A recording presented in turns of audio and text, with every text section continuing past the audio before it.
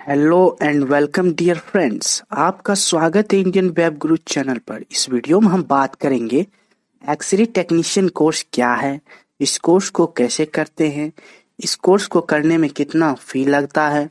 इस कोर्स को करने के बाद जॉब स्कोप क्या है? इस कोर्स को करना फ़ायदेमंद होगा? तो आज की इस वीडियो में हम पूरी जानकारी एक्सरे टेक्नीशियन कोर्स के बारे में ही बताएँगे। तो चलिए शुरू करते हैं।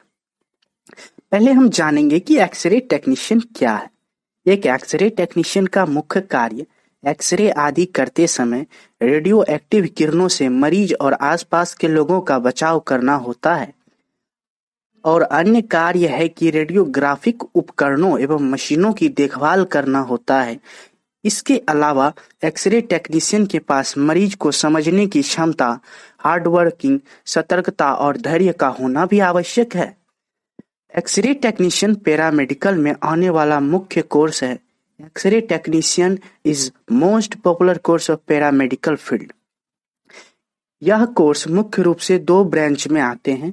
पहला डिप्लोमा इन रेडियोलॉजी और एक्सरे टेक्नोलॉजी दूसरा बैचलर इन रेडियोलॉजी और एक्सरे टेक्नोलॉजी अब बात करते हैं कि इस कोर्स की एलिजिबिलिटी क्या है, योग्यता क्या है।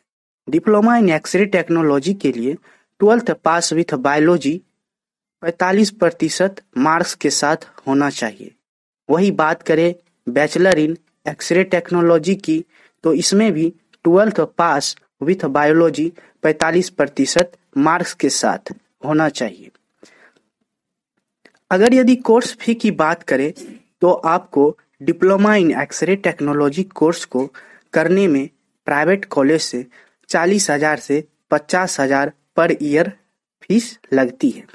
और बैचलर कोर्स की बात करें तो इस कोर्स को करने में पचास से साठ हज़ार पर ईयर लगती है।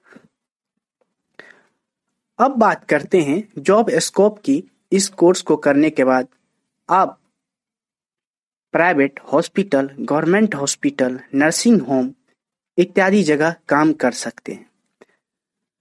सैलरी की बात करें तो एज ए फ्रेशर आपको दस हज़ार से बारह हज़ार मिलेंगे। एज ए फ्रेशर का मतलब कि आपको शुरुआती दौर में दस हज़ार से बारह हज़ार सैलरी मिलेंगे और उसके बाद जिस तरह आपकी एक्सपीरियंस बढ़ेगी, आपकी सैलरी भी इंक्रीज होती जाएगी। अगर आप गवर्नमेंट जॉब करते हैं तो आपको सैलरी तीस हज़ार के एवं मिलेगा। तो उम्मीद करता हूँ दोस्तों आपको ये वीडियो अच्छा लगा होगा। इस चैनल को सब्सक्राइब करें, वीडियो को लाइक और शेयर करें।